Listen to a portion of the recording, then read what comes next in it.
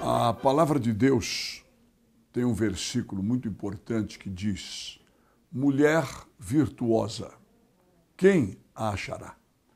Aquele que a encontra, encontra uma coisa boa, porque o seu valor muito se excede aos rubis, e eu posso acrescentar as joias raras.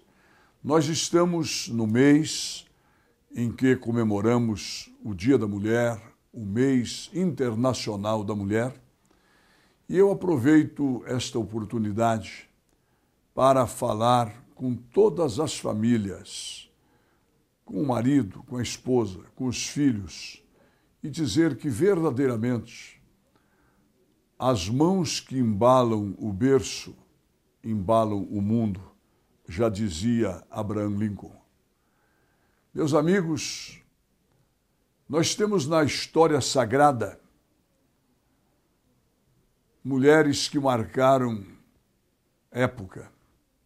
Nós podemos nos lembrar de Dorcas, nós podemos nos lembrar de Débora, nós podemos nos lembrar de Maria, mãe de Jesus, aquela que foi a protagonista do maior acontecimento da história da humanidade.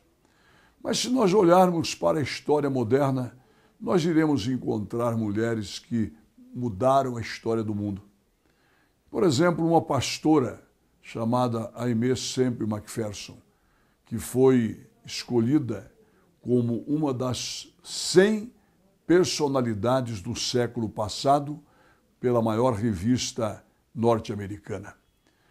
A mulher tem o seu lugar extraordinariamente belo na história, na história da Bíblia, na história do dia a dia, porque a mulher, ela é filha, ela é esposa, ela é mãe, ela é educadora. E realmente, nesse mundo moderno que nós estamos, compete muito mais a mulher do que até o próprio homem a educação dos filhos no lar. Parabéns à mulher brasileira. Parabéns a você, mulher, pelo Dia Internacional da Mulher. Por este mês que a homenageia. A mulher merece receber, sim, todas as nossas homenagens.